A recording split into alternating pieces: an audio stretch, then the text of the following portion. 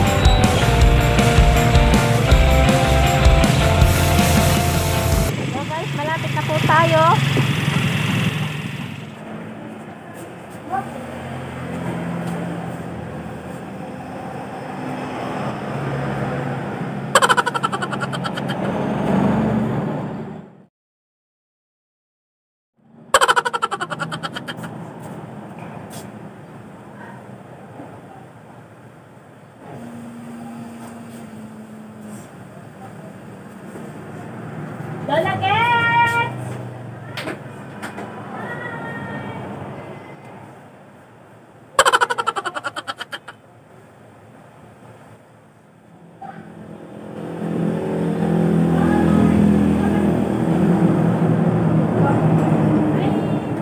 Chocolate cake! Chocolate cake? Chocolate cake?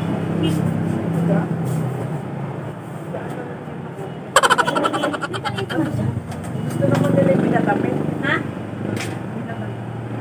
Ay, Marga! Marga, tikman mo din ang aking chocolate cake. Ako yun dyan. Ang kala. Hindi ko ang mga regale. Ako dyan, Lola Gets. Tikman nyo. At sobrang sarap. Ha? O, tikman nyo ha. Baka, baka magiging... Buang lambot. Buang lambot. It's a prank!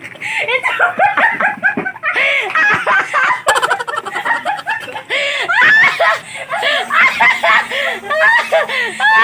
It's a prank!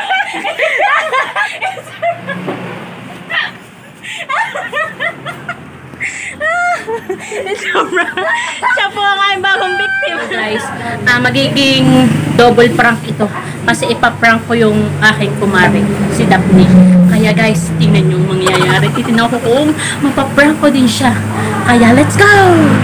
Aring Kap!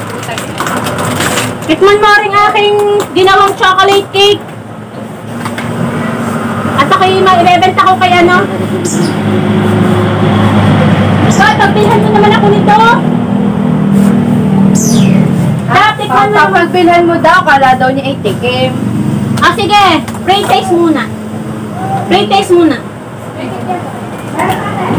Mo na. Ayaw mo ng chocolate. Hindi, di tikman mo. Gary? Mura lang sabra! Ay, sabra!